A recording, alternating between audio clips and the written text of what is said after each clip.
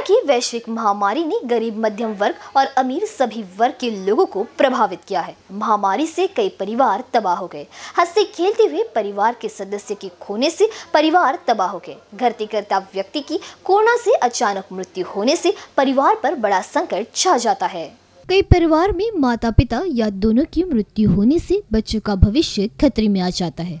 ऐसे बच्चों को श्री सिद्धि विनायक सेवा ट्रस्ट द्वारा संचालित सोबत परियोजना द्वारा शून्य से 20 वर्ष की आयु के बच्चों की सुरक्षा की ज़िम्मेदारी लेने की पहल की है। परियोजना को समुदाय के शुभचिंतकों के सहयोग से चलाया जाएगा। एक साथ उन बच्चों की बुनियादी जरूरतों को पूरा करने पर ध्यान केंद्रित करेगा, जो माता पिता या दोनों की छत्र छाया खो चुके हैं। शिक्षा, स्वास्थ्य, आहार, कौशल प्रशिक्षण, परामर्श पर पूरा ध्यान श्री सिद्धि विनायक सेवा ट्रस्ट के अध्यक्ष पूर्व महापौर संदीप जोशी ने आज पत्रकार परिषद में जानकारी दी। केंद्रीय मंत्री नितिन गडकरी का जन्मदिन साइंटिफिक हॉल लक्ष्मीनगर में पूर्व मुख्यमंत्री देवेंद्र फडणवीस और पूर्व ऊर्जा मंत्री चंद्रशेखर बावनकुळे की उपस्थिति में मनाया जाएगा। नागपूर शहरात अंदाजे साडेसात हजार लोक या कोरोना काळामध्ये मृत्युमुखी पडले. यातील तरुणांचा मोठ्या संख्या मोठ्यामध्ये संख्या आहे. आणि त्यामुळे शेवटी यांच्याकडे बघायचं कोणी?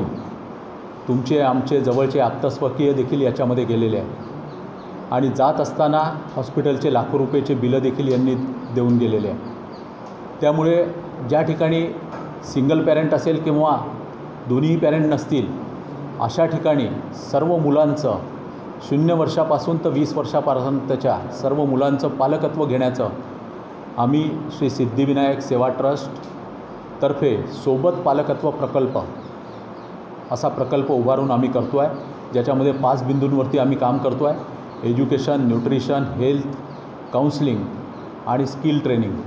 या संपूर्ण प्रकरणामध्ये या सर्व सोबत ताकदीने उभं राहून नंतर उपवर झालेल्या सर्व मुलींचा विवाह देखील यामध्ये करायचा हे देखील आम्ही निश्चित केलेलं आहे.